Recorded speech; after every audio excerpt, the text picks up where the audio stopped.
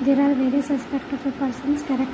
make him are different from the other individuals. Given below are some traits and aspects that have been identified are named. Read and take the correct option. ये कुछ ऐसे ओहदे हैं जो कि इंसान को कैरेक्टर से मिलते हैं अलग अलग टेक दैम जो कि उन्हें दूसरों से अलग बनाते हैं ऐसे उनको ओहदे मिलते हैं गिवन मतलब सम ट्रेड्स एंड रेस्पेक्टेड कुछ ट्रेड और रेस्पेक्ट को पढ़िए that are be identified name उनको पहचान उनके नाम लिखिए कुछ लाइन्स हैं मतलब कि जिनके बारे में कुछ, कोई कुछ कहते हैं जो पढ़े, ज़्यादा पढ़ते हैं, उसको हम पढ़ाकू बोलते हैं। ज़्यादा पढ़ने वाला पढ़ाकू, इसी तरह से कुछ ऐसे ट्रेड्स हैं, जिनको हम कुछ ना कुछ नाम से जानते हैं।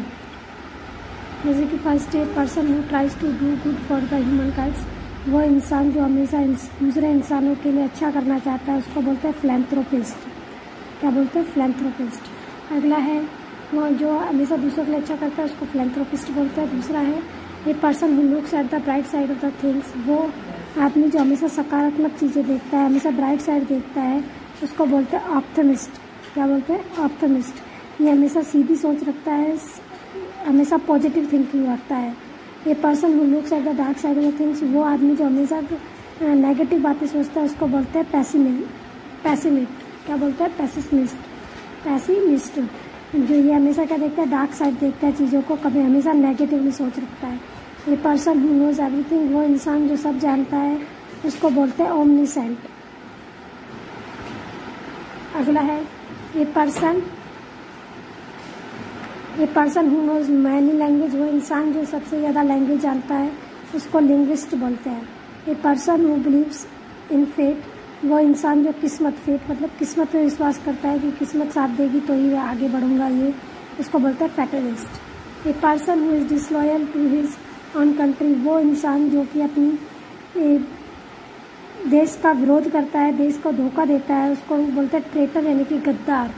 A person who compose poem वो इंसान जो कि पोएम लिखता है, उसको बोलते हैं पोएट कवि.